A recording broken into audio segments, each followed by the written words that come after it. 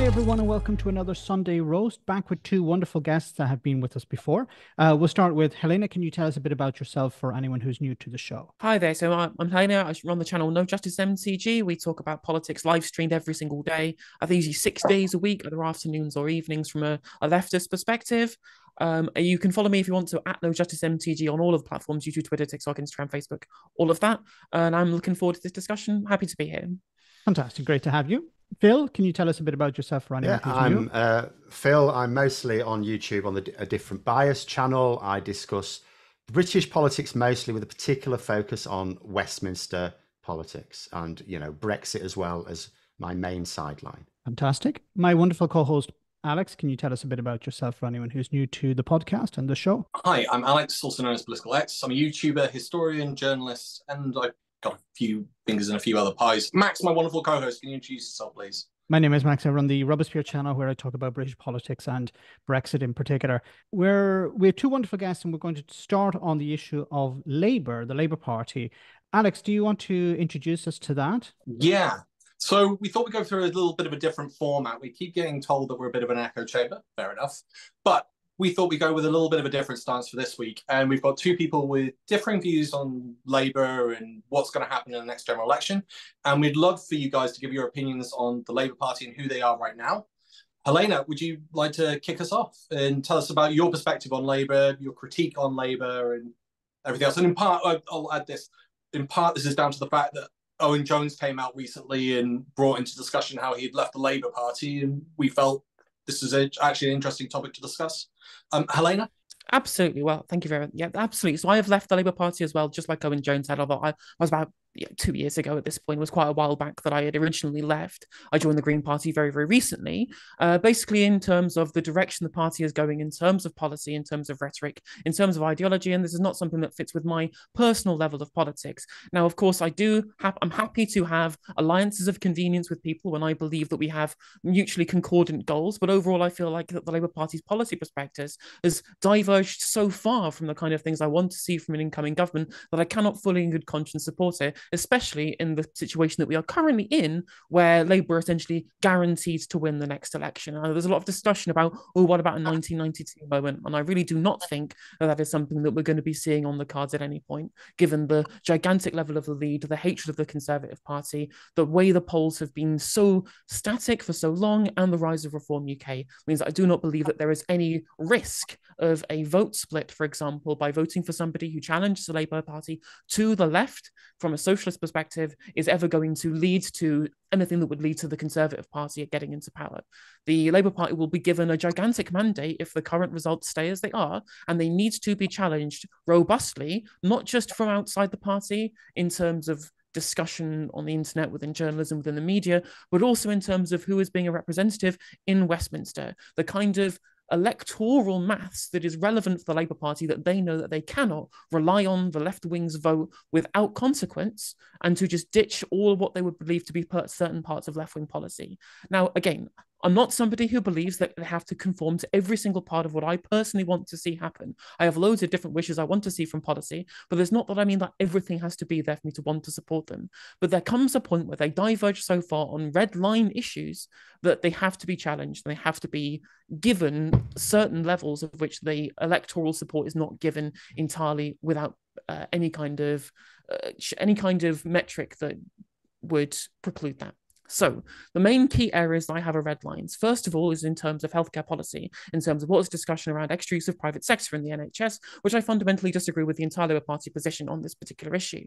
The workforce plan is fine, but broadly, in terms of when we are looking at plans in terms of extra capital investment, in terms of extra financial investment in the healthcare service, given the current state of their macroeconomic policy on the fiscal rules, they cannot guarantee them having any additional funding for day to day spending if they do not raise taxes on the rich, which is another area of red line for me personally, which is that wealth inequality is the biggest problem in our society. And they have categorically ruled out, which Rachel Reeves has said multiple times, any wealth taxes, any cap- increases in capital gains taxes, any increases in dividends taxation, any they've junked their policy on there being a financial transactions tax. There's all these different parts of their policy prospectus that do not face the fundamental challenge of our society today. On top of all of these things, there are plenty of other policy areas I disagree with in terms of I would much I would only support a party if they had an ethical foreign policy. And the actions of the Labour Party and the Labour leadership over the conflict in, in Palestine has been nothing short of abominable, and I cannot support that up until this point. And lastly, the last thing that has made me completely disaffected with the Labour Party is the internal party politics, the removal of the Labour Party's the Labour membership and the union's role in, in dictating policy, subcontracting this out to groups like Labour Together and the Tony Blair Institute and places like that, where where for example, the unions have had to walk out of national policy forum meetings over issues where they couldn't move the Labour leadership on. This is something that I cannot countenance in terms of my own personal interaction with a party. It has to be democratic, it has to be beholden to its own membership rather than allowed to be subcontracted out to other people, to the point at which their biggest pledge that I was a big fan of was the Green Prosperity Plan, the 28 billion pound investment per year. Not that the figure is the relevant part of it, but there needs to be large scale investment, which now does not exist anymore. And we're only in this position because Morgan McSweeney and Pat McFadden at the top of the party can decide unilaterally that they're going to junk a policy, junk a commitment that they've made during the entirety of the years up to that point without even consultation within party membership or on the National Policy Forum. Whereas my own party of choice, which is the Green Party, they are offering this. They have supported a ceasefire in Gaza from day one. They do support taxes on the rich. They do support things like building council houses using state funding, which has been ruled out also by Rachel Reeves. And they want to end private involvement in the NHS and nationalize our water industry. There are plenty of things that I perceive to be fundamental challenges to the structure of our economy and the structure of our society that Labour are not willing to take measures to challenge. And whilst I can guarantee, as we have discussed before, that Labour are nailed on to win the election, these things have to be challenged. Otherwise, they will have a mandate to continue the sclerotic politics and economic politics of the last 14 years. And that can only be done externally from the party because all internal party democracy has essentially been usurped by the people at the top. Uh, thanks for that. Um, so I'd like to bring in Phil. Uh, Phil, I, I, don't know if you'd like to respond to some of the points there, because I, then I think we'd, it'd be good to move on to what you predict will happen with the Labour Party in power from both of you. But um, Phil, would you like to give an introduction, or would you like to respond to some of those points? I'll just I'll give an introduction. I can respond to some of the points. What I would just say is some of the things that Helena has said about the way the Labour Party operates are not actually true. Um, for example, Labour have also supported a ceasefire, and where people uh, go wrong with that is they say, oh, but they didn't use the word ceasefire. They wouldn't use the word ceasefire. And it's like, no, they didn't. And maybe they should have done, but there was a, a fear that they didn't want to be associated with the people who were using the term ceasefire to mean Israel shouldn't use weapons, but Hamas was still fine to.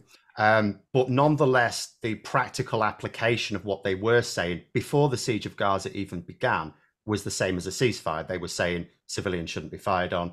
They were talking about, they used the term humanitarian pause, but it amounts to the same thing. What is a ceasefire other than stop firing on civilians so that we can get aid to civilians and make sure that they are not being endangered?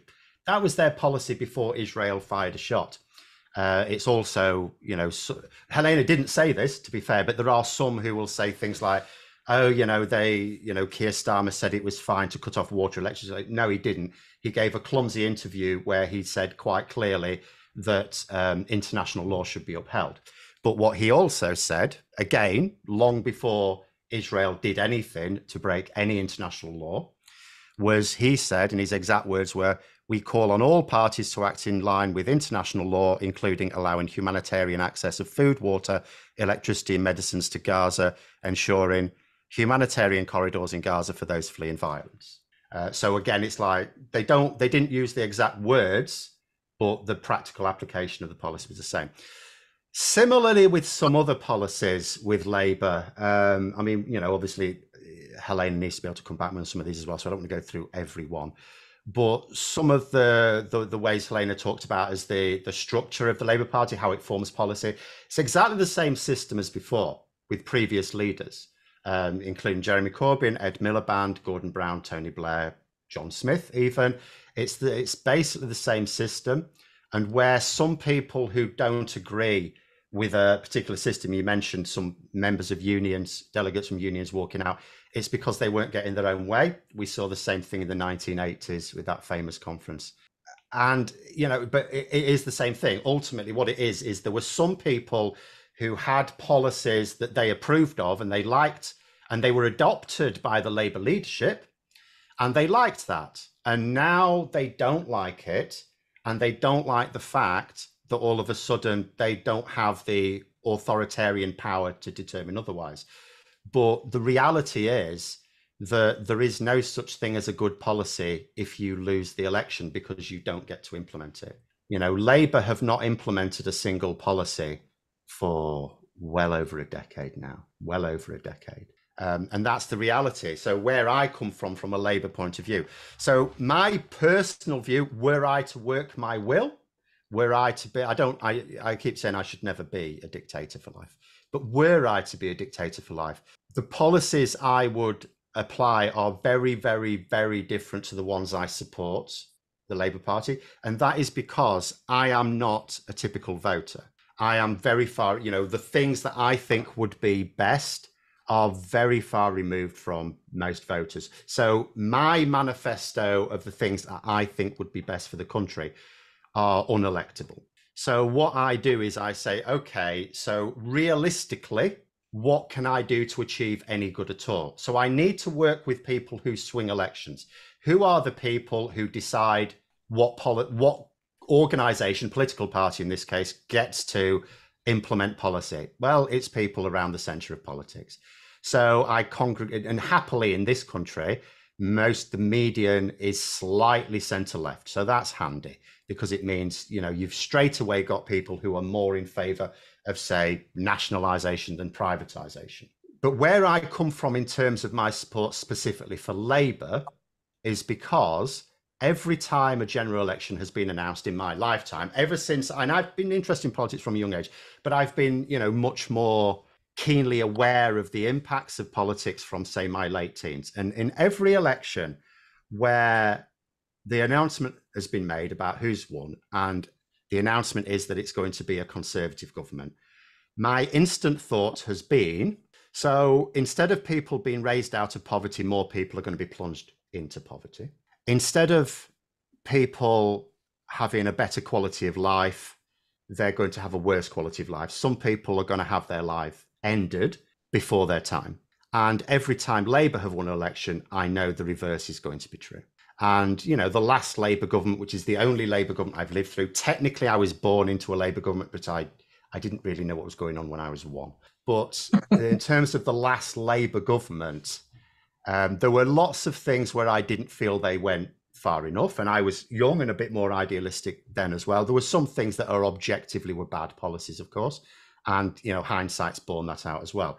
But but people improved their standard of living. Their standard of living went up. Uh, people's incomes went up in real terms. People's access to healthcare improved in real terms. As someone who started my teaching career at the start of the Labour government, I saw funding coming flooding in all of a sudden. But again, this is where you do need to keep a careful eye on them some of that funding wasn't always well spent. You couldn't criticize the money coming in, but for example, as a teacher, I started off, you know, with with chalkboards and then whiteboards. Then it was interactive whiteboards. Almost mm. nobody uses the, the first ones were rubbish anyway, and almost nobody used them. They're just glorified projection screens. Alex is nodding along there. Uh, I have seen a small number of teachers who've used them well. Almost nobody uses them at all. They're basically pants. And um, and that was a lot of money that could have been spent better. So it's one of those things like the the, the priorities were right. Uh, in fact, I discussed this with um, you know Johnbosco Nwogbo of uh, We Own It. So I did a video on it, but before that we had a discussion. I didn't record this discussion, and he was making a really good point that so when Labour come in, they will have really good intentions for the NHS, but they will not make all the right decisions. And one of the failures in the system is what will happen is Labour need to improve things in the NHS really quickly. They're totally committed to that. It would be ridiculous to suggest any Labour MP isn't totally committed to that. But will they hear about an idea that could be really great and it sounds amazing and they go with it and it turns out to not be a great idea? That is the worry that they they listen to some technological solution that someone can apply then offer and it always sounds brilliant and the hype sounds amazing and and they go yeah let's do that and then it turns out actually it doesn't work very well. Um, you know we could point for example to the, to the horizon system for the post office.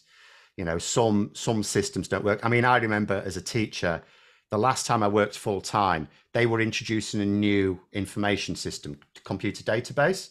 And what nobody did who was designing this for us, or it wasn't designed from scratch, of course, we're just one college, but you know, putting together a kit.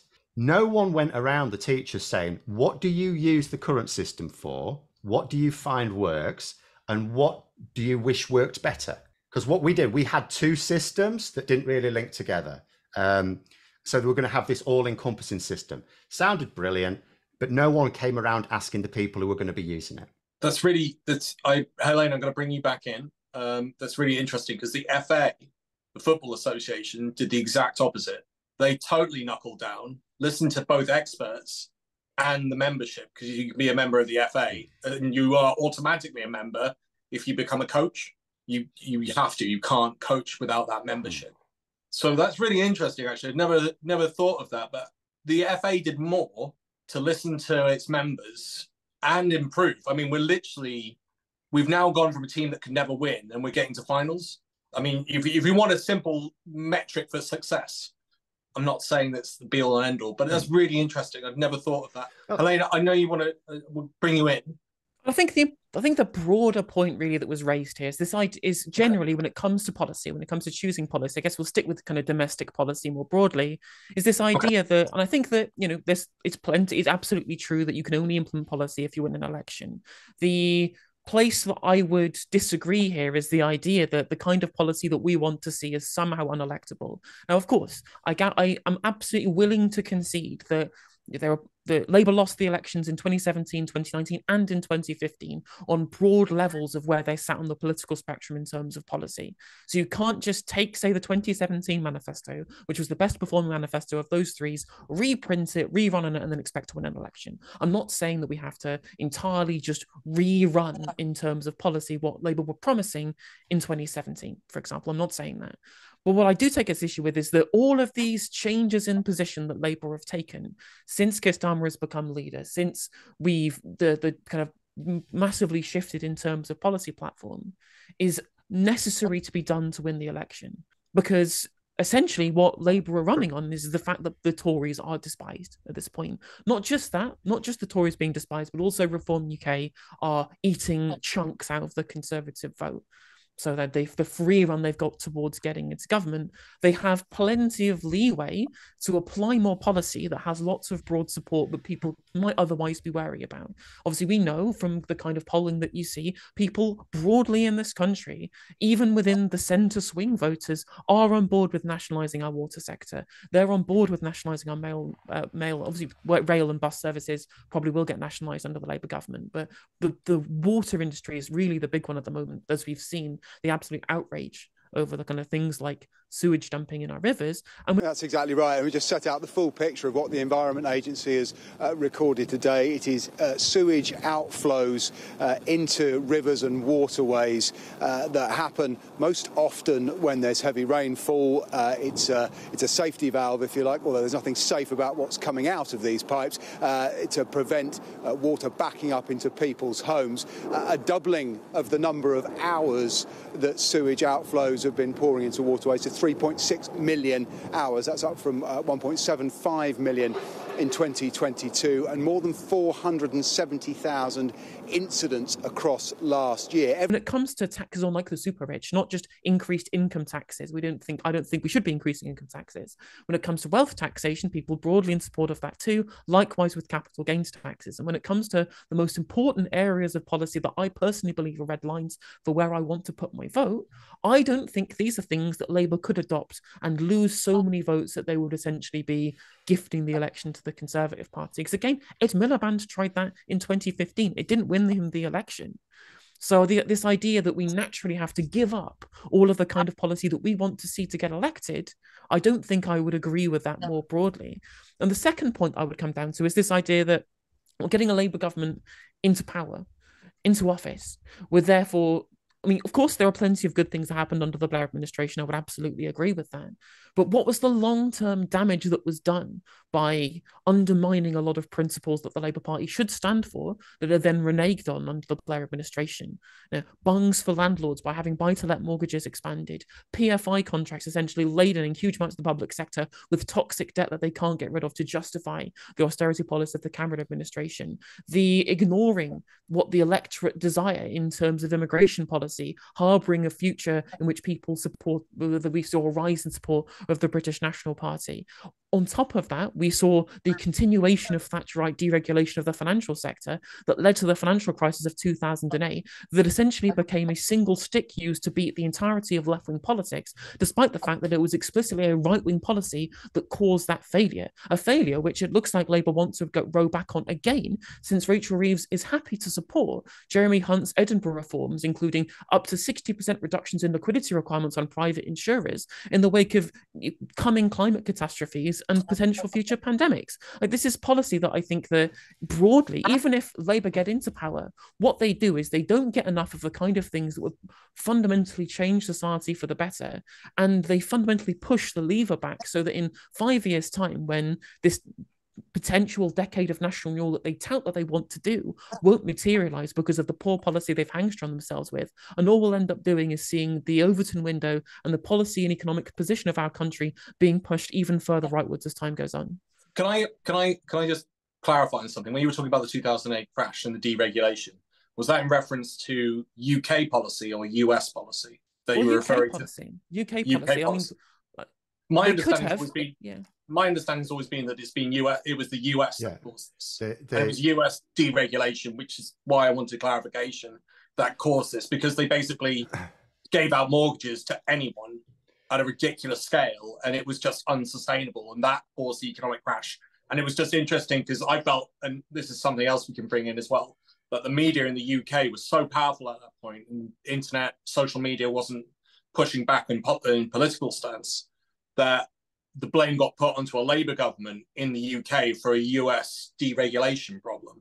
Yeah, we also just, deregulate just... our financial sector as well, though. Okay, yeah, I know, I know. Can I just I'm, ask I'm Helena not, a question? That, but go on, just ask Helena a question because actually the UK government increased regulation. So can you tell me an example of regulation that they relaxed?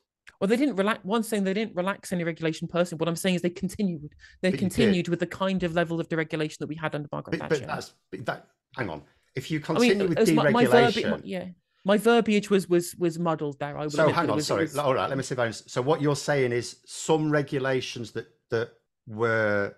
So you're saying they didn't reduce regulation; they just didn't increase it enough. That's correct. Yeah, we okay, I'd agree with like... that. They they did actually increase regulation. They did, and actually that did save us a little bit. But I would 100% agree that it was not enough, and and that, that they were told that it would not be enough in when part, part of Giddens' prospectus for the third way was that this only works if you regulate the financial sector, and they didn't do it enough. Like proper re- prudential regulation and capital controls and in small amounts yeah, yeah. could have helped us protect ourselves. Yeah, Australia is the perfect model of I, this. I, I 100% agree with that. Can we can we bring in Phil once again uh, to respond to some other of the points, but so also but also to move on to maybe what what would you like to see in the next in the first 100 days of a Labour government and by the end of a term?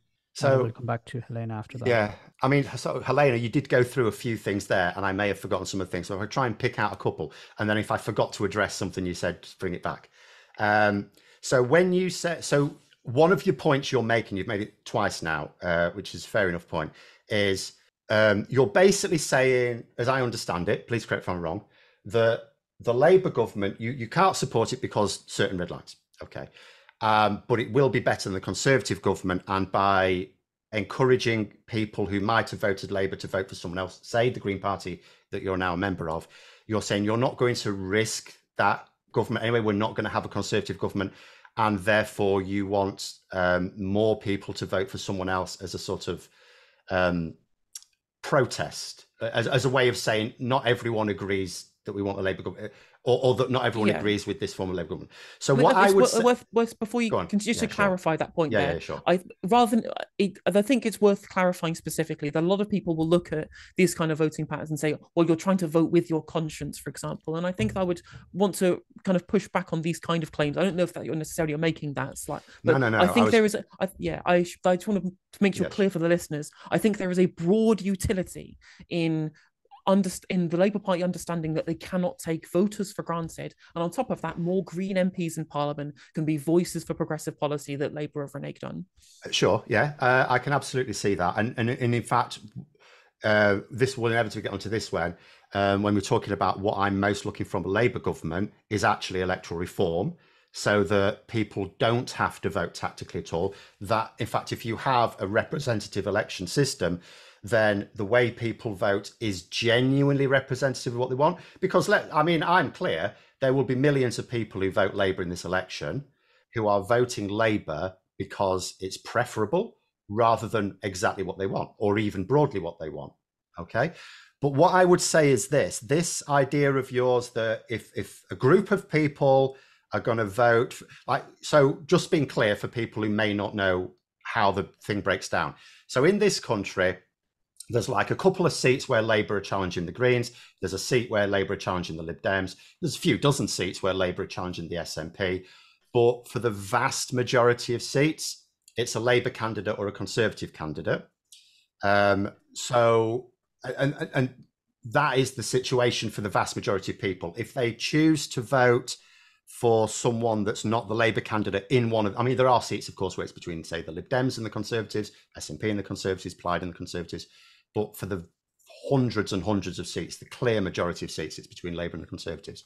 So anyone that is um, anti-Tory but votes for someone that's not the Labour candidate, which obviously is their decision, um, they are making the election of a Conservative candidate more likely. So what you are saying is it's it cannot actually jeopardise the result, which I agree with.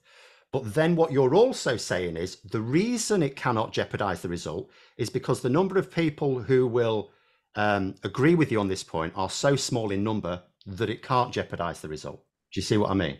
I think what I would say the, the the I think the crux of my point here is that I think there is broader for those who want a progressive policy, there is more utility in making Labour have to at least somewhat try and court your mm. vote in future. Of course, even if they win this election, they know that they're not looking for five yeah. years in government. They're looking for 10, they're looking for 15. They have to know where their base of support is going to be sure. in five years' time to maintain that come the next election. I think that broad utility is greater than the utility of the Tories having, you know, 50 MPs instead of 100. So shall I shall I give you my counter view to that? That then. So sure. the the reason why the Labour do have some bad policies, uh, they have those bad policies because that is what voters broadly agree with, and the reason why they have ad- adopted those policies because there are some policies that Labour and the Conservatives will have that may not have broad agreement, but they know they can get away with, and they're good policies from their point of view the reason why Labour have adopted some policies that that they themselves are doing well, you know, we have to do this to win votes, is because they're countering the Conservatives, because the Conservatives are the alternative. But this election is quite unique, completely unique. It's it's better even than 1906. The 1906 election marked a significant political shift in Britain as the Liberal Party, led by Henry Campbell Bannerman, secured a landslide victory over the Conservative Party. The Conservatives, as the latest polling shows, have no safe seats. The closest they have to safe seats are ones where they have a decent lead, say about 12 to 15%, uh, and they ha- none of them have more than that anyway, and where the tactical vote isn't clear. That is the closest they have to a, a safe seat. So they could credibly be beaten down to, say, 30 seats if people vote tactically against the Conservatives. Now, what that would mean is it would mean a lot of Labour MPs, but it would also mean that the Conservatives would not be the official opposition. The Liberal Democrats would be the official opposition. And in a lot of seats, if vote, there, there's a lot of voters who certainly don't like the far right tilt of the Conservatives, but they still see it as preferable to Labour, so they hold their nose and vote Conservative. And the reason why many of them don't vote Liberal Democrat is because they think, but the De- the Liberal Democrats, okay, they can represent me in Parliament, but they can't change anything. They can't form a government. But if the Liberal Democrats are then seen as the official party of opposition, and people think, hang on a minute, the Liberal Democrats are actually as likely or more likely to win power than the Conservatives because the Conservatives have got like half the number of seats. You create a situation, maybe, I mean, there's lots of ifs to this, but you create a situation where maybe um, the Liberal Democrats become the alternative. And then Labour are no longer having to counter Conservative policies, but Lib Dem policies, which are much more moderate, right? And but then the flip side of that, which is your idea, is you're going to deprive Labour of these votes, okay? And Labour are going to win anyway. That's your argument. When Labour look to the next election, they're not going to look to win over the votes of people who wouldn't even vote for them after 14 years of the Tories destroying everything because those votes are unassailable. It's like if you can't win them this year, bloody hell, you're never going to win them uh, when the when the Tories are no longer the main threat. They're going to concentrate on retaining the appeal to the people who did propel them to power. So your argument, and I'm not saying it's definitively wrong, but your argument is you have a more powerful voice if you if you um, back a smaller party which in like two seats could return a Green MP, sure. Um, and I know they're targeting four, but realistically two. But in, for the vast majority of seats, you're asking them to vote for someone who has no chance, and it might actually result in them ending up with a Conservative MP who's certainly not going to represent them. And Labour aren't going to chase after those votes because they're unwinnable. If they can't win them this year, when Labour may, we don't know, there's lots of ifs and buts, but they may get their best result ever in history why would they chase after the, the votes they couldn't even get in this year? That would be my point. I mean, I think the first thing I would say in response to that is I don't think that the people that they're going to be winning over this time are necessarily being won over and sticking to Labour necessarily because of any part of their policy prospectus. It's it's their it's their consternation with conservative governance, and on top of that, it's just generalised material conditions. Their you know the lack of personal levels of prosperity, stagnant wages, all of these kind of things, the the cost of living crisis, and the general malaise in terms of the entire structure of the country and everything that we've seen. And the the problem I have is that I actually don't think that they can necessarily hold on to those votes unless they fix those problems. And when I look at the policy perspectives, I don't think they're going to fix them. That's the big problem that I have. And second of all, I would say that you know, the fact that I think most people like myself who are voting for the Green Party are doing so because of policies that Labour have abandoned. I think it should be a clear signal to Labour that we are winnable votes. It's not our, our, votes are based upon what policy they offer, and not indeed whether or not they are wearing a red rosette or a blue rosette. Okay, I mean, I can guarantee that is not the case. Labour will not see the votes they couldn't win this year as winnable in the next election. It, uh, it's not how uh, polling uh, electoral strategy. Can I, can I inter- just but, interrupt on, for a second? Can I just interrupt for a second? Is, is there a possibility of seeing uh, a UKIP of the left?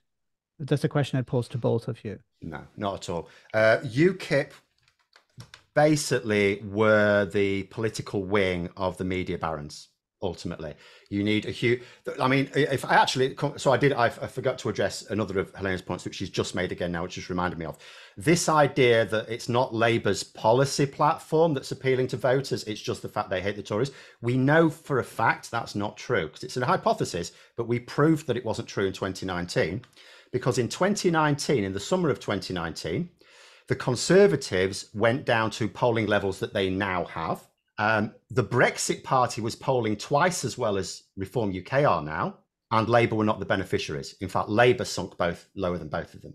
So we know that it is not automatically the case that if the Conservatives are as popular as a fart in a broken lift, that Labour benefit. That's not the case at all. We know that's not the case because of polling from 2019. We know what is the case. It is the policies, and they are adopting these policies in order to win over those votes.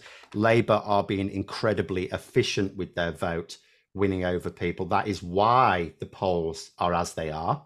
It is because they have focused on the voters they need to win instead of retreating back to their core. Because anyone who's a member of the Labour, I mean, you've left the Labour Party, so you're honest enough to say, I no longer want to f- support this, and that's great. But anyone who is a member of the Labour Party, because you've talked about, you know, you should listen to the members, anyone who's a member of the Labour Party is they're a member of the Labour Party for one of two reasons. Either first, they believe in the project so much that they want to give the party a bit of extra money to help it happen and want to go and canvass and knock on doors and support the party. It's not because they want power, it's because they want to get Labour into power. The other type of member of any political party, we've seen this especially in the Conservative Party, are entryists who do want to steer policy in a particular way that is against the wishes of the people. We've seen that with the UKIPification of the Conservative Party, which is now almost complete to the point where you've got Nick Fletcher today, as we're recording this, but a few days ago from when it's going out, actively supporting Reform UK, calling for people to vote for Reform UK in a particular constituency when he and he still has the conservative whip and he knows he's going to have the conservative whip.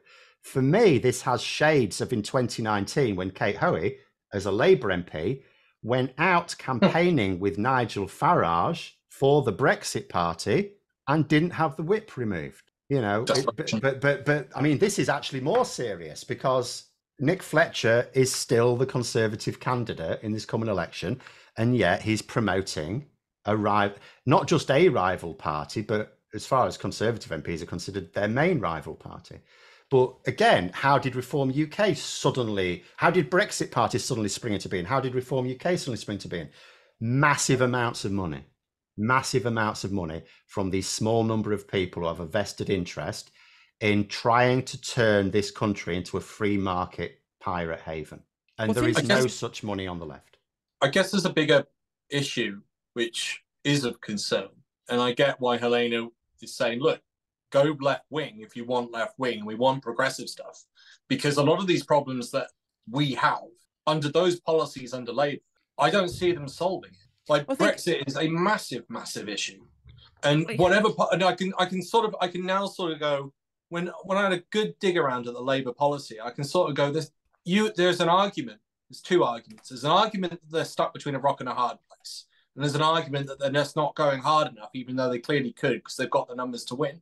And I think there's an element of within those policies they've gone such a safe route that they could get in, and long term they're going to get out very rapidly maybe within four, maybe within eight years, because the policies they put forward don't solve the problems that they have. So we've got a mental health crisis. 1.9 million people have got a mental health crisis. You don't solve the NHS, you're not going to fix that. You, the housing policy. I could, I, I've been saying this for about three years now. Get 3D printing out as one solution. Build loads of frigging houses. But we now know, I mean, I haven't seen, I only saw this report briefly. There's a claim that we need prices say crisis say that we need about 400,000 houses a year. Labour has said they're going to build 200 to 300,000 and they're going to do it to the private sector. It's not good enough and it's not going to solve the problems. And we need the housing prices to be solved because we need mortgage prices to go down and we need rent to go down. The only way you do that is to drop, the, uh, to increase the number of houses to drop the prices. But again, we're we're in a rock and a hard place situation because you do that, you devalue houses, and people are going to be pissed off at Labour. And I just see a number of po- birth rate 1.56 exact same problem as japan has had japan also had the issue under shinzo abe abe, economics. Uh, they didn't want immigration. I did i ran some calculations. We need about 1.2 million people a year because we're losing 600000 uh, because they're leaving the uk and we've got this low birth rate. And in order to replace the birth rate and the 600000 and again i go labour haven't got a policy to solve that. And i'm going these are these are I'm, I'm going to swear these are huge problems. Epoch going down epoch defining problems. And these problems aren't going to be solved under those policies. And because uh, I'll give them benefit of the doubt here as well. The manifesto is going to be quite important because that's going to be what the Lords going to use to argue and fight over with Labour, unless Labour reform the Lords as well. We won't know what they do with this PR and the Lords reform until we see the manifesto. We have an idea because they have said stuff in the media but I want to see the manifesto. That's where I want to see exactly what they're going to do. And I think that's that's the biggest concern I've got out of all this. And it very much feels like we've got real politic here and we've got ideological politic, and both of them have their practical uses and needs and necessity for society. And I end up just going, I can see why they're in a rock and a hard place, and they've gone down this a little bit too safe a route. So there's a couple of points. I think the one thing I want to push back on from Phil's last segment was this was the the polls in 2019 going to the Brexit Party. But this was specifically in the run up to the European Parliament elections, where the Brexit Party were campaigning heavily, specifically around the idea of Brexit. I think taking polls with under the auspices of a giant Brexit debate, I I don't think that that necessarily can be translated into broader Westminster politics. But regardless when it comes to policy, I think there are plenty of things that we both understand as being important policy where we have the correct position on based on all available evidence, all available data that are unwinnable policies in terms of elections. Immigration being a big one. You can't win elections on being a pro immigration party anymore. You just can't do it, even though we need the immigration, as you rightly say, dealing with our demographic trends, maintaining our productive capacity to be able to maintain pensions. Because, for example, like a bunch of the, the retired who really want to see immigration drop, they're the ones who are going to lose their triple lock of our productive productive capacity drops because of low population. But it's it's unelectable. It's completely unelectable to to to take a pro-immigration stance, and so I am happy to watch parties cede ground to the incorrect position on this. Likewise, with a law and order criminal justice policy, all of the kind of you know, police crackdown style policy, draconian legislation on uh, drugs and things like that. We've all seen that these things they don't work in America, they don't work in Europe, they don't work here. But the UK public overwhelmingly support authoritarian uh, criminal justice policy. And for example, like in the 2017 manifesto, Labour were just like, well, you can't trust the, the Tories on law and order. They cut 10,000 police officers. We'll win them back. And this is a big policy that won people over from the kind of the swing voter demographic in 2017 to give Labour their big boost in polling at the time. Happy to concede all of these things. But it's completely unnecessary, as you say, given broader support for the policies amongst the public, amongst huge sections of the demographic, apart from very small sections of the more right wing members of, of the voting demographics. And second of all, in terms of are they going to actually solve the gigantic problems facing our economy, especially in terms of macroeconomic policy, which I think is one of Labour's worst positions at the moment? These are things that the public supports, we support, and if we don't, if Labour don't do it, they'll be out in five years' time. So I would say, uh, so a couple of things there again before I forget the, the points you made. First of all, in terms of that 2019 thing, no, it was after the European elections. Um, and also, if you're going to say that that is uh, spurious for some reason, you're going to have to give me some polling evidence that a party can adopt unpopular policies and still win, because that doesn't seem sensible. The other thing, uh, just to address there is so i mean there's a couple of things. First of all you've said that, that the policies you believe in are definitely right they're objectively right. I don't ever do that. I'm going to say i don't ever do that. I'm sorry that that um, that is how ideology is born this belief that you are 100% right on everything and that is a reason why you should not compromise with anyone.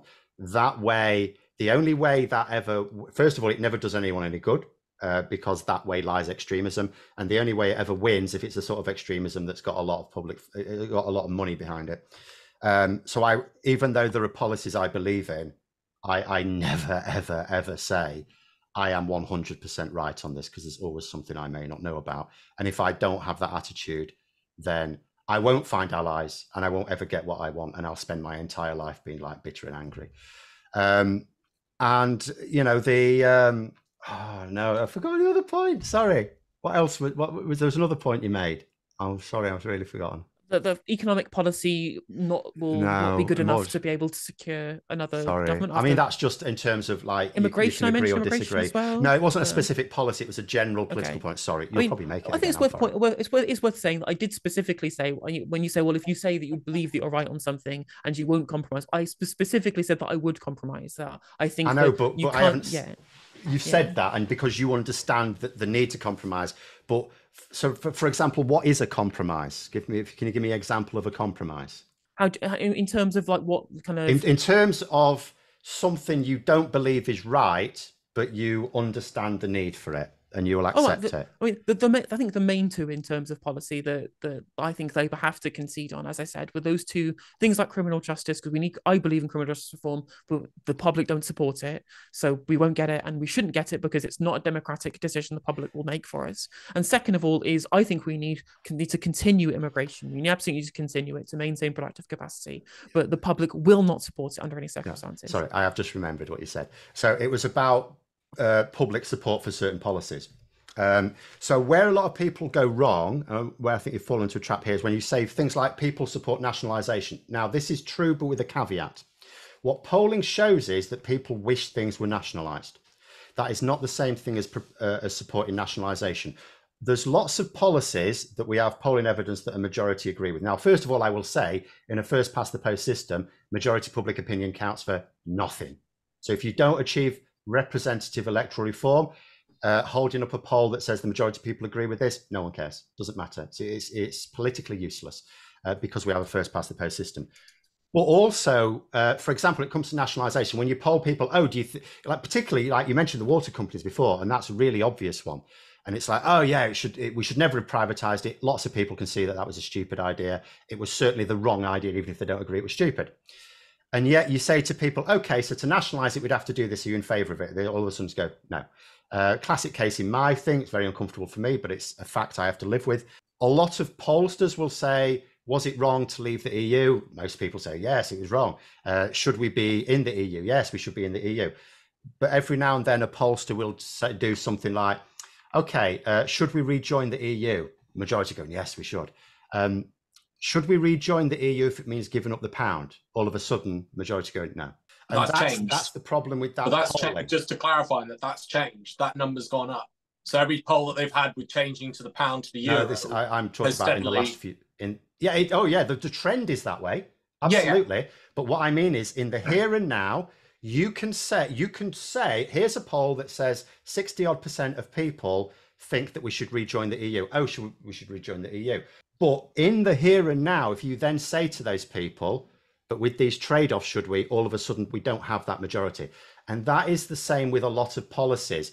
A lot of people, when you're suggesting something, it's like, if we could wave a magic wand and achieve this, yes. But as soon as you start talking about, and that's why we don't really know a lot of exactly what Labour are going to do, because what they talk about are outcomes. That's what any political party talks about, because they need about 12 to 14 million people to vote for them. They don't agree on the methods. They are very, very fixed.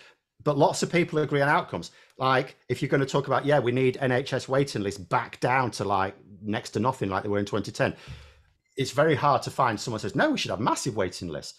Um, but, and, and the same thing with any number of policies, they all sound brilliant. So they like the outcomes, but people disagree on the, on the mechanisms. But when you suggest mechanisms to people, all of a sudden the support for the common outcome gets fractured. So this is interesting. I, I, I, actually wasn't going to bring it up. I changed my mind, and then you brought it back in, and that's FDR. And the interesting thing I find with all of this is FDR, uh, Franklin Delano Roosevelt, President of the United States, four times, died on his fourth term. Arguably, the biggest socialist uh, set of changes implemented in the United States was under him. And it's interesting because the guy obviously had the ability to use propaganda and campaigning and rhetoric and and speeches in order to be able to convince people to change their point of view. And like because the Republican leader Harding, I think it was just before him, was neoliberal.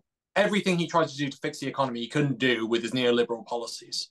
So it was a big change to have someone sort of coming in an extreme and, and changing that.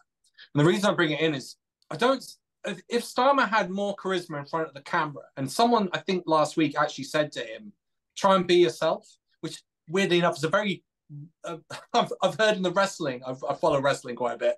They say the best wrestlers are the ones who are like themselves but on steroids, and I get the impression again with Starmer, if he could sell it, he could change and put these policies forward. And sure. Rishi Sunak's got the same problem. He's got zero charisma and I'd say Starmer's more. He's got a bit better charisma, but he's not a JFK and FDR, a Barack Obama. And it's sort of what we're missing in order for him to get those policies over the line. Because the big problem, and it keeps seeming to come up in the background, is the media step in and just basically scupper everything with crazy conspiracy theories or bad ideas that they spread around the public and the public buy. So it's like you said, we, uh, this go is, on, Max. Oh, yeah, no, no, I, I just, but I think it's actually worse than that because if you look at 2019, what did what Boris Johnson do what were his policies to to win an 80 seat majority? It wasn't really anything. it done. was get It was Brexit leveling done, up. It was but- building 40 new It- hospitals. It, it was, it was level, very much leveling up and getting Brexit done. And the getting Brexit done wasn't just for Brexit supporters; it was for people who didn't want to leave the EU. That slogan was out. People took it as a pro-Brexit slogan. It was an anti-Brexit slogan to rally them to him, because it was like people had been so worn down, and people had this attitude that the Conservatives were essentially unable. The reason why things were going to hell was not because the Conservatives were just breaking the country to bits and oh, money, money, money. Uh, it's because they were. Um, oh, they were. It was Brexit. Brexit's di- distracting them all the time. And Boris Johnson promised we're just going to leave, and then there's nothing to argue about. We've left. It's all fine. We can concentrate on the business of government, and that was a powerful motivating factor for a lot Yeah. of No, folks. what, what, what I Well, the mean big by that is- irony. yeah, it, it was it wasn't like a policy in the sense that there was some thinking behind it, that, that there were there was some plan. It was just a slogan. So Mm. maybe you maybe you can win elect can you win elections just based on So- slogans? Um, so what I was going back to Alex's point is it would be absolutely fantastic. But this is my argument because we don't have it. It's all right saying, you know, oh, we need a lead. I mean, the leaders you just ran off there, Alex, decades apart, because they're remarkable people who come around, even in a, and they're all Americans you mentioned. Yep. Uh, You know, in a huge, you know, five times our population, five or six times our population, and they've come around once every couple of generations. We don't have any. There are no. We don't have any like that in this country. We don't have Ted anyone in politics. No, in right now he's dead. No, Uh, no. Fucking hell. I mean, in his time, he was considered to be quite yeah, good. yeah. Well, there have Yeah. been very charismatic leaders in this country. Um, you know, Tony Blair was considered very charismatic. It's a bit of a shame that you know his, of his Just so rubbish. views. it- yes, um, but um, but we don't have them now. Labour doesn't have them. And people will say things like, "Oh, I uh, like this person or that person?" It's like, yeah, they speak to you, but they don't have mass appeal. Labour doesn't have anyone with mass appeal. I, Andy, I think. Andy Burnham has mass appeal. No, he doesn't. He absolutely he's the most. He's the, he's, he's the most Then why liked didn't he politician, win? politician Why in the didn't he win? Why didn't he win? That's a low bar. Why didn't he win? I mean, it's. I mean, it's oh, as in the the Labour he couldn't even election. win. He couldn't even win a popularity contest in his own party. I mean, that's because He he, wasn't left wing enough for the party membership. No, That's the problem. yeah, you know, it- if you it- want to take a, if you want to bro- someone with broad appeal, he might not actually be that no, I- appealing to the party membership. No, it, it- he's not. He's not got broad appeal to the public. I mean, you say he's most popular. That's because he's doing quite well in Manchester. He's actually doing a good job. Um, you know, and unlike it doesn't have the focus of London, so you don't have the same sort of Tory angst there uh, because they're never going to compete there anyway. Um, which is why, although it was minorly embarrassing that the Conservative candidate for Greater Manchester, the, the fact that the Conservative candidate just a few weeks before the election decided they were going to be the Reform UK candidate, I mean, if that had have happened in London, that would have been devastating for them. But it's just moderately embarrassing because you know, so you so Andy Burnham gets a bit of a pass. He is doing a good job, but at the same time, there isn't that political aggro around Manchester as there is in London. What about Sadiq Khan? Do you think he's charismatic? I, Um, he's, I mean, he's charismatic, but I think he's he's broadly despised across like anywhere outside of London. It's Uh, a shame. yeah, I think yeah, he's I- great. we don't have basically what I'm saying is, and this has always been my argument. Like when people say, "Well, well, Labour just need to persuade people of this," it's like, okay, so here's the situation: the mainstream media are basically owned by three people, and um, and they're all billionaires, and only one of them lives in this country, and they they are all with lots of different outlets because people don't realize it's all from three people lots of different outlets all saying the same thing and what you're asking the Labour Party to do without a charismatic leader, but even if they had one, it would still be up against it. You're asking them to say to the public, yeah, all these trusted media outlets, they're all lying to you. We're the ones telling the truth. I mean, that sounds like crazy town. And that is the problem. So if we had a really charismatic leader, maybe they could swim a bit more upstream, but they would still be up against that. And that is why I say the solution to this is electoral reform. And the solution and, and electoral reform leads to a two dozen other reforms as well, including media reform, which is badly needed. None of this happens without electoral reform. As soon as you have a decent representative system, the Tories are gone. They're finished. They cannot come back to power in their current form because there will never be a majority of people in this country voting for it. And at that point as well, it doesn't matter if you have a coalition of very, you could have Labour, Greens, and the Lib Dems. They would work much more effectively together than Labour constantly trying to counter the Tories. So you advance things on, and then all of a sudden, if like Labour say we should have media reform, if the if the media whip up a fuss, which they will do, it's like, but what's the what's the electoral consequence for Labour? It's not a Conservative government because that'll be impossible. What's the electoral consequence for Labour? That maybe the coalition gets a bit bigger for the Lib Dems or something. Well, they'll also be in favour of media reform. So that's why I see that as the path to really solving a great many of our problems. And I know there's an, I mean, I've, I've, heard people in the Green Party say the same thing. It's like, yes, but we can't achieve that right now. We've got the climate emergency right now, and blah, blah, blah. It's like, yeah, but you're still standing still. The only prospect we have is electoral reform. And I, you know, electoral reform has a lot of support in Labour, but there is still some opposition.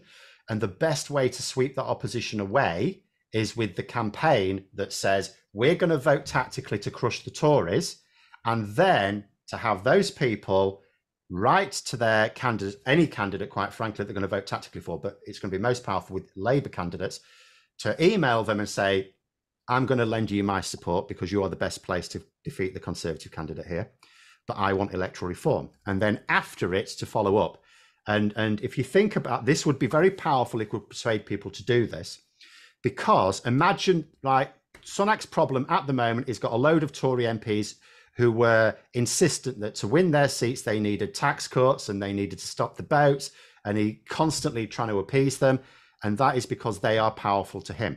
You create 200 Labour MPs that are all thinking, right, I won this seat because a load of people voted tactically for me, and what they want is electoral reform. And also, a lot of those MPs, Labour MPs, are more likely to win their seats under the new system anyway because a lot of those Labour MPs will win in what really should be safe Tory seats. And if we keep the system the same as it is, it's going to flip back to being a safe Tory seat in five or 10 years' time. I mean, I just think there is zero material incentive for the people who are in charge of the Labour Party right now to support anything that, is close to electoral reform. Maybe like ranked choice voting at a push, but the kind of like mixed member proportional system that we really do need to have to push the Tories out of any kind of political relevance forever will not come from people who know that as soon as they implement some kind of electoral reform towards a proportional system, they're the half their mem- members of their party just completely leave and the party splits into, which I think is likely to happen given how far out of step with the current Labour membership loads of people at the top of the current Labour Party are.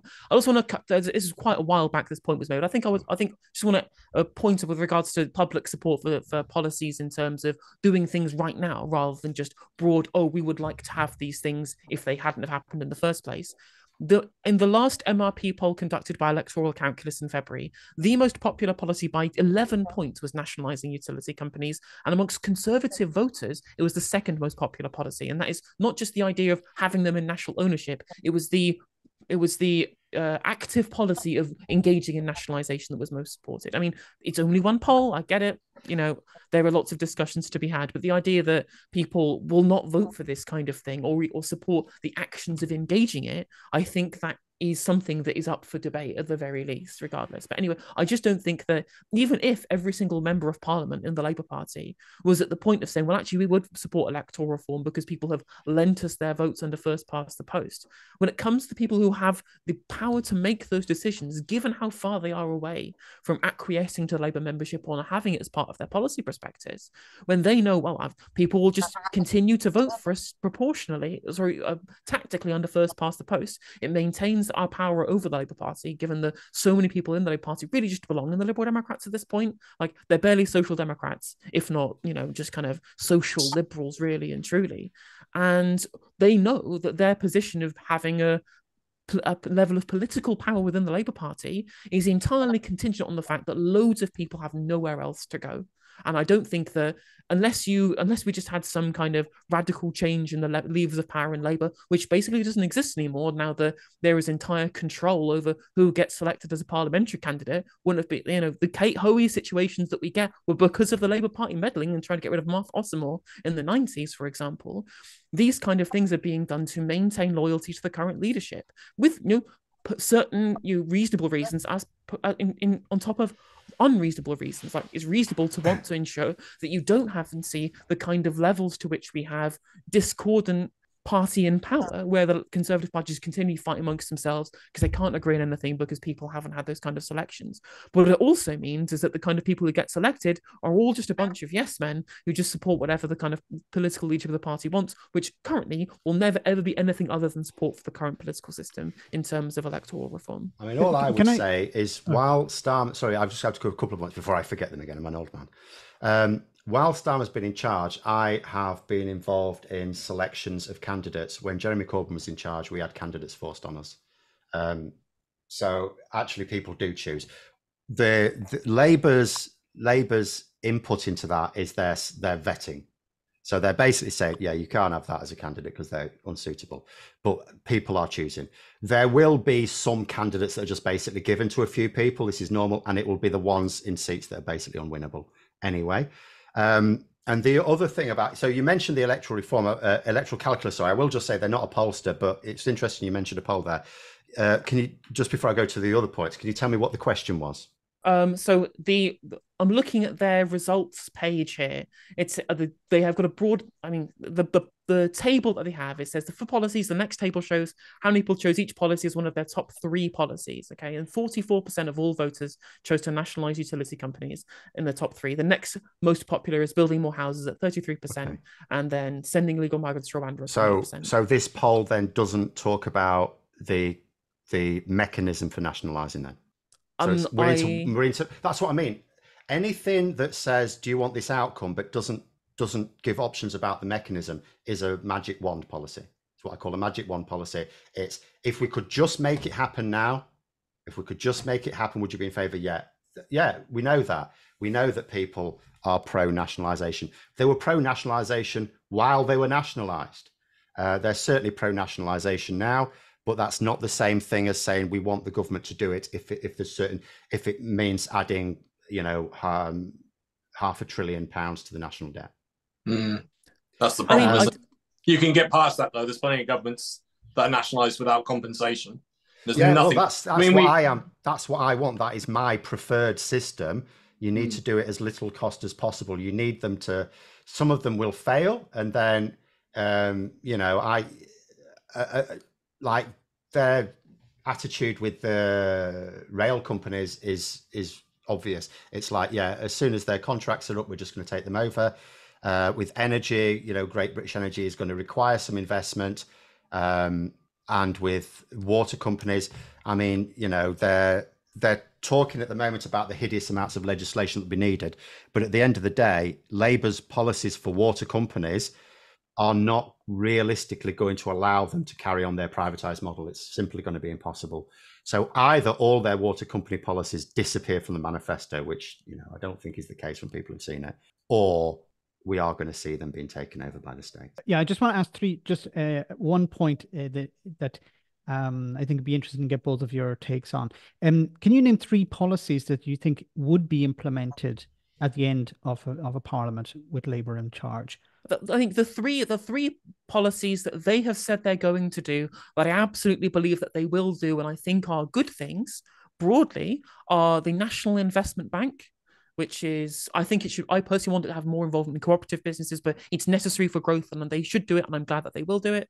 The local power plan is an excellent policy from Ed Miliband that I almost certainly will implement because it is essentially free for them to do and will guarantee them local election wins for decades to come. And the last one I believe they'll definitely do is the broader devolution settlement, like they have been de- they have been detailing already in their run up to the local elections in terms of empower mayors, empower local authorities. The issue is where does the where's the council funding come from under the fiscal rules? But the policy of devolution is excellent. Yeah, Phil. So my top three would be uh, first of all because you know these are all policies that were going to lead to much better outcomes across the board. So the first one would be votes for 16 and 17 year olds because and, and I am I am disappointed that they've gone quiet on votes for EU citizens as well. Um, because given that we allow citizens of Commonwealth countries who aren't mm-hmm. even settled here to vote in general elections. Mm-hmm. I see absolutely no reason not to do that. But the, the bottom line is if you we have a first past the post system, but even in a first past the post system, if you shift uh, the balance of power, then you shift the um, Overton window naturally without even having to take time. So 16 and 17 year olds getting the vote is a big one for me. Uh, the second one is a, a, broader way in which they're going to structure government. Like we're used, and we still have them now. We're used to this idea of government departments, government departments, and, and Labour are very clear they don't work. So one of their biggest reforms is the problem with um, having that is then that Secretary of State is totally focused on the outcomes in there, but there are links with other departments, and you're then reliant on those Secretaries of State having a good relationship with the other Secretaries of State to come and and and Labour go, no, no, no, this is madness. So you need people where there's going to be a project that's going to run across multiple departments to sort of take charge of that. So when you read their NHS paper, for example, it doesn't just talk about what they're going to do with the NHS. It talks about the need for good quality housing. It talks about the need for good jobs, good pay, things like that. So they're linking in how progress in in like that's completely outside of the Department for Health and Social Care is also going to help them drive their policies within the Department for Health and Social Care.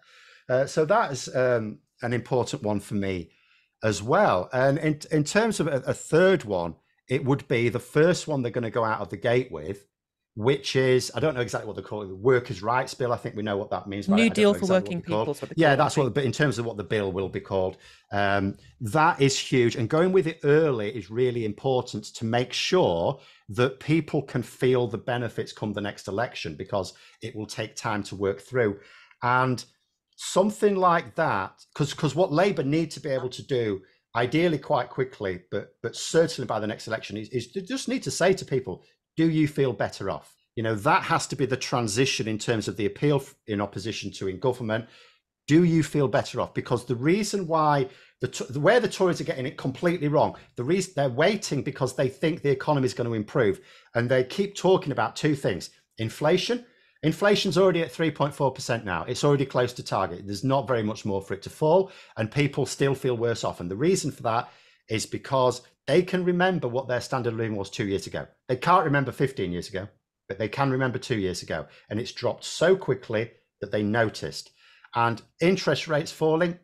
I mean, the latest news is they'll fall a bit, maybe, but they're not going to fall as much as people think. And even if they did, how does that help people feel better off? It doesn't. It doesn't raise people's standard of living. So they're looking for things to happen over the next six months that don't make people feel any better off. Labour no, they can't just point a graph. Oh, look, look, good economic news. That vote for us again. That doesn't work. They need to say to people, do you not do what the Tories do? Oh, we made this town really brilliant. Oh, they're great. I mean, Victoria Atkins today, the health secretary, she was asked, she was she was trying to laud the fact that NHS waiting lists have come down a little tiny bit from their record level. Great. You say that there are ones doing well. Say them out loud. I think it, all I'm trying to do is to put into context that in an enormous system that treats 1.3 million people a day, that saw in the month of February 74,000 people going into A&E every single day, what I'm saying is that we know that there will be um, some people who have the sorts of experiences that are simply unacceptable, as you've already described, but there are also people who have had good experience and and she was trying oh yeah it's brilliant. And there's actually some nhs trusts that are meeting and it's even exceeding their target. She's trying to suggest there's some parts of the country where it's all marvelous um, and and so she was asked okay can you name any of these nhs trusts then? What? Can can you tell me which parts of the country are exceeding targets? No i can't tell you that. So labour can't fall back on oh, we're making some parts of the country brilliant. It'll be your turn next, vote for us again, like the Tories do. They're going to have to go to voters and say, do you feel better? And they need those voters to say yes. Al Ronald Reagan. On that note, thank you very much, everyone. That was brilliant. You. If you want to see more of this, please click the like and subscribe button. Thanks, everyone. Thanks to our guests. Bye.